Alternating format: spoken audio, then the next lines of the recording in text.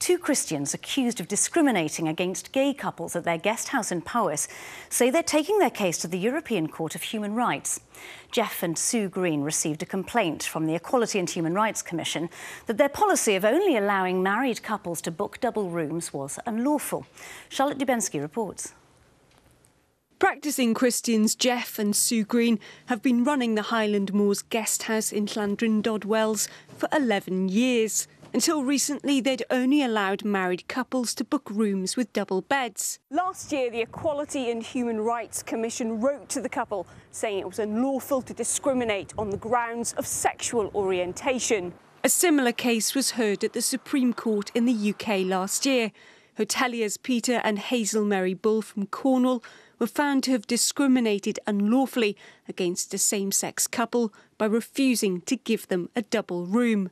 But that ruling hasn't deterred the Greens. By taking this to Strasbourg, we hope to achieve um, recognition of our, of our, personal faith, uh, our Christian beliefs, and our human rights um, alongside that of the new equality laws that are being brought in by Westminster. The couple now only offer rooms with single beds to all guests. In a statement, the Equality and Human Rights Commission said it wrote to the guest house owners advising them that the wording on their website could be construed as potentially discriminatory.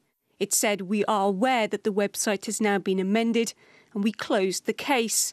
Gay rights campaigners say it's only right that cases like this are highlighted. It's a key part of the law in this country that says that you cannot discriminate on grounds of sexual orientation when uh, providing goods and services. And I believe that uh, is an example in this case. We are just days away from the first same-sex marriages in England and Wales. We should be celebrating the equal rights that same-sex couples now have, not looking for a return to the discrimination of the past. The Greens say they've never turned anyone away from their guest house because of their sexual orientation. They say they just want to know if there's space for their Christian beliefs within the public and the private sector.